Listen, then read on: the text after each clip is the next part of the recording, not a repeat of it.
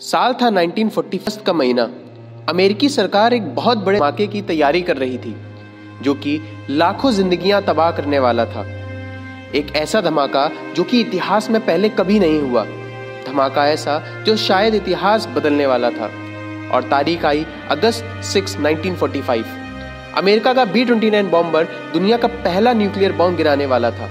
और यह काम कर रहे थे, उस प्लेन में बैठे दो लोग, जिनका नाम कमांडर पॉल डब्ल्यू टिबिट्स और कैप्टन रॉबर्ट लुइस था।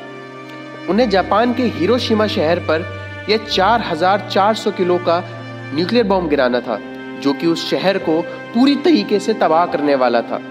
नमस्कार दोस्तों मैं हूँ चिराग और हाजिर हूँ एक और वीडियो के साथ जिसमें हम एक और इतिहास के पन्ने को पढ़ेंगे। और जानेंगे कि क्यों जापान पर वो न्यूक्लियर बॉम्ब गिराया गया उस समय के क्या हालात थे दुनिया में। चलिए हम शुरू से शुरू करते हैं और चलते हैं 1939 में, जब वर्ल्ड वॉर सेकेंड की शुरुआत हुई, जिसमें दुनिया दो हिस्सों में बट गई थी। एक थे एक्सिस पावर, जिसमें जर्मनी, जापान, इटली, हंगरी जैसे देश शामिल थे, और दूसरे थे एलाइड पावर्स जिसमें US Britain Canada Australia France जैसे मज़बूत देश शामिल थे। दुनिया उस समय रिसेशन से जूझ रही थी, और डिक्टेटरशिप अपने चरम पर चल रही थी। 1944 तक आते आते 10 करोड़ से भी ज़्यादा लोग मारे जा चुके थे, जिसमें ज़्यादातर आम लोग थे। और इस भयानक युद्ध की शुरुआत हुई थी जर्मनी से। जर्मनी, जो कि वर्ल्ड वॉर फ़र्स्ट में हार चुका था, उसने ट्रीटी ऑफ़ वर्साइलेस साइन करी, जिसमें जर्मनी की अर्थव्यवस्था पूरी तरीके से चरमरा उठी थी। वहाँ के लोग एक एक टाइम के खाने के लिए मोहताज हो चुके थे। और फिर उदय हुआ एडोल्फ हिटलर का, जिसने वर्ल्ड वॉर टू की शुरुआत की। और लगभग आधे यूरोप पर हमला बोल दिया। और बहुत बड़ा यूरोप का हिस्सा भी कब्जा लिया। लेकिन अपनी एक गलती के चलते हिटलर को हार का सामना देखना पड़ा। उस समय जब वह आधा यूरोप जीत चुका था और एडोल्फ हिटलर ने सोवियत यूनियन पर हमला कर दिया और धीरे धीरे जर्मनी की सेना सोवियत पर चढ़ाई करने लगी। लेकिन ठंड के चलते जर्मन ज़्यादा मर रहे थे। क्योंकि उन्हें इससे पहले इतनी ठंडी जगह पर लड़ने का अनुभव न था। और धीरे धीरे सोवियत की रेड आर्मी जर्मनी की सेना को खदेड़ने लगी। यह पहली बार था जब हिटलर ने हार का सामना देखा था। और उसी समय यूएसए की इंटेलिजेंस को यह खबर कि जर्मनी एटम बम पर काम कर रहा है।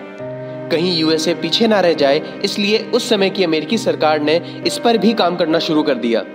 और इस प्रोजेक्ट का नाम रखा गया मैनहट्टन प्रोजेक्ट, जिसमें यूएसए ने अपने सारे होनार साइंटिस्टों को लगा दिया, रिसर्च एंड डेवलपमेंट करी और बहुत सारा पैसा खर्च किया ताकि कल को अगर जर्मनी न्यूक्लियर बॉम्ब बना लेता है तो यूएसए के पास भी उसका विकल्प तैयार हो।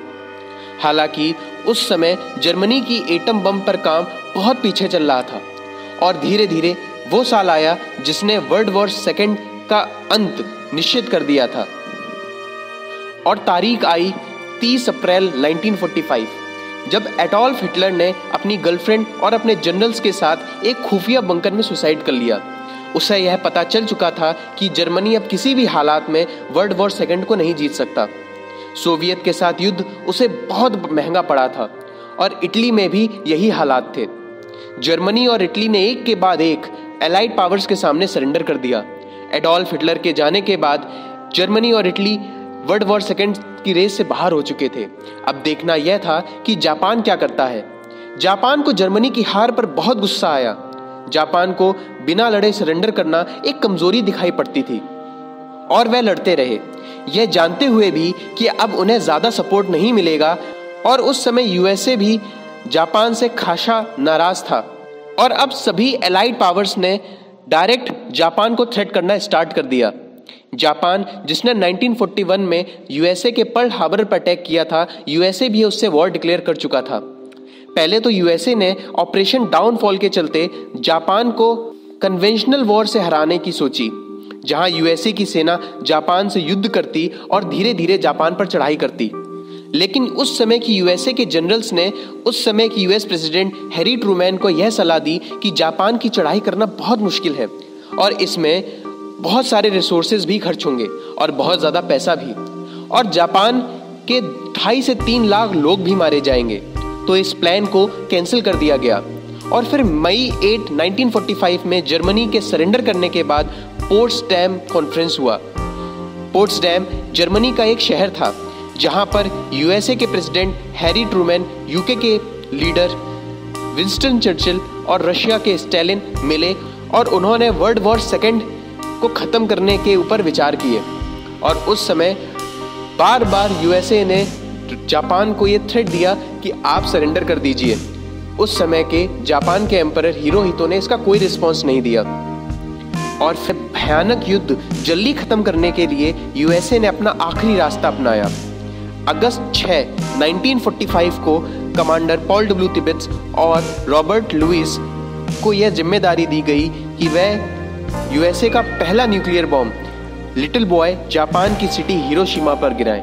सुबह के आठ बज के पैंतालीस मिनट हो रहे थे और तिबिट्स बॉम्ब गिराने को पूरी तरह तैयार थे।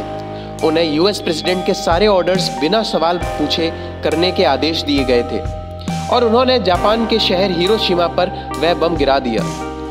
बम को गिरने में कुल 45 सेकंड का समय लगा। और इसी समय के अंदर अंदर पॉल डब्ल्यू तिबेट्स को प्लेन घुमा करके जापान की सिटी से ज़्यादा से ज़्यादा दूर पहुँचना था। लोग ध्यान से इस गोले को ज़मीन पर गिरते हुए देख रहे थे। बॉम्ब गिरते ही एक बहुत बड़ा विस्फोट हुआ, जिससे अस्सी हज़ार लोग तो फ़ौरन खाक हो गए। पॉल डब्ल्यू तिबिट्स इतना दूर जाने के बाद भी उनका प्लेन पूरा लड़खड़ा उठा। लोग ज़िंदा सड़कों पर जमने लगे। और लाखों लोग अब इस भयानक रेडिएशन का शिकार होने वाले थे, जिससे अंदर के सभी हिस्से गलने लगते हैं और डीएनए में चेंजेस आने लगते हैं। इस भयानक पंद्रह हज़ार टन टीएनटी के बॉम्ब का इम्पैक्ट इतना था कि 70 परसेंट बिल्डिंग खाक हो गई। जो लोग बचे, वो कैंसर का शिकार हो गए और कई दिनों तक उस शहर पर ब्लैक रेन होने लगी। बहुत से आम लोग जापान की जिद के आगे मारे गए। और फिर यूएसए ने जापान को सरेंडर करने के लिए फिर से कहा और उस समय के यूएसए के प्रेसिडेंट ने धमकी देते हुए कहा expect a rain of ruin from air the life of which has never been seen on this earth यानी कि अब एक ऐसी तबाही का आप नज़ारा देखेंगे जो आपने इससे पहले कभी नहीं देखा है। इस थ्रेट के बन ने इसको सीरियसली नहीं लिया और इसका कोई रिस्पॉन्स नहीं दिया। और कई दिनों तक रेडिएशन से वहाँ लोग मरते रहे। और तारीख आई अगस्त 9 1945 जब यूएसए ने अपना दूसरा एटम बम नागासाकी शहर पर गिराया। इस बॉम्ब का नाम फैटमैन रखा गया था। लेकिन इस बार बॉम्ब ज़मीन से गिरने से पहले ही 500 फुट ऊपर फट गया और इसकी तबाही इतनी ज़्यादा हुई जितनी किसी ने ना सोची थी। और इस बार भी बॉम्ब गिरते ही पचास हज़ार लोग तो तुरंत जल जलकर मर गए और कई लाखों लोग रेडिएशन से मरने वाले थे। और यूएसए ने एक बार फिर से धमकी दी कि जापान आप सरेंडर कर दीजिए। अभी भी जापान सरेंडर करने में हिचकिचा रहा था। इन सब में एक और मौका ढूंढा और जापान पर 10 अगस्त 1945 को वॉर डिक्लेयर कर दी। तुरंत ही अभी दो बॉम्ब गिरे ही थे कि सोवियत ने भी जापान के ऊपर हमला करने का फैसला कर लिया और यह जापान बिल्कुल सहन ना कर पाया। रशिया अपनी पुरानी 1904 में हुई हार का बदला लेना चाहता था।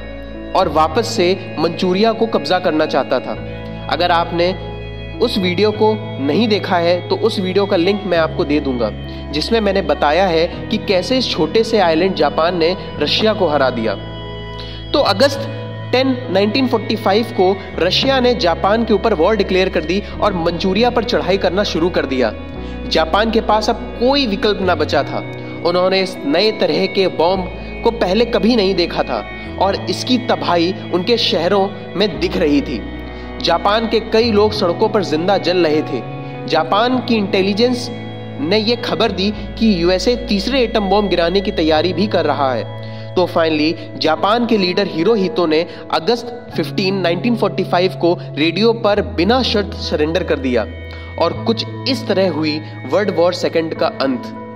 जिसने कई करोड़ों लोगों की जान ले ली। हालाँकि, जापान के सरेंडर करने के बाद भी मंचूरिया में बैठे जापान के सैनिकों ने हार नहीं मानी और वह युद्ध करते रहे और जापान रशियन वॉर लगातार ऐसे ही 1950s में चलती रही।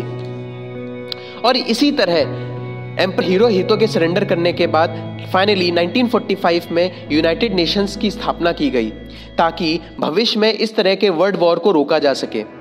और उस समय के महान वैज्ञानिक एल्बर्ट आइंस्टीन ने भी एटम बॉम्ब गिरने की बहुत निंदा की थी। और आज भी ये टॉपिक बहुत डिबेट होता है कि क्या नैतिक रूप से एटम बॉम्ब गिराना सही था? आप अपने विचार कमेंट सेक्शन में ज़रूर लिखिए और मैं इसको ज़रूर लाइक करूँगा। हम उम्मीद करेंगे कि हम इतिहास से सीखें। नह का युद्ध फिर कभी ना हो। तो इसी नोट के साथ हम इस वीडियो को एंड करते हैं और हम फिर मिलेंगे एक और नए वीडियो के साथ। तब तक आप अपना और अपने परिवार का ख्याल रखें। जय हिंद दोस्तों। अगर आपको यह वीडियो पसंद आता है तो इस वीडियो को लाइक करें और अपने दोस्तों के साथ शेयर करें।